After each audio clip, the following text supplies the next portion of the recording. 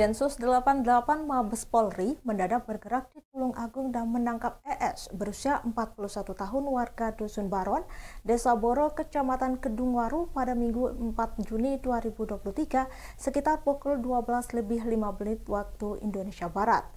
ES diketahui sebagai seorang tukang servis mobil yang bekerja tak jauh dari makam Desa Boro.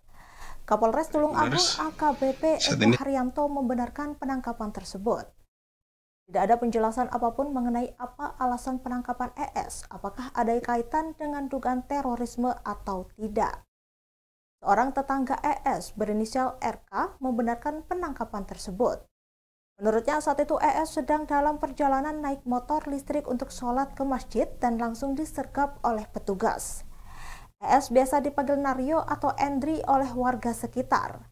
Menurut RK, kesehariannya berhubungan baik dengan warga sekitar, namun ES dikenal tak pernah datang jika diundang kenduri. ES juga sering menerima tamu terutama di hari Minggu. Masih menurut RK, tamunya selalu berganti dan bukan warga desa Boro. Menurut, menurut warga lainnya berinisial YMD, ES dikenal sebagai warga yang taat beribadah. ES juga sering melakukan sholat berjamaah di Ngantru dan Kalang Bred. Namun YMD tak mengetahui pasti masjid mana yang didatangi ES. Warga lainnya menyebut ES sudah lama terlihat jaringan organisasi transnasional. Sebelumnya ES diketahui pernah bekerja di Korea Selatan.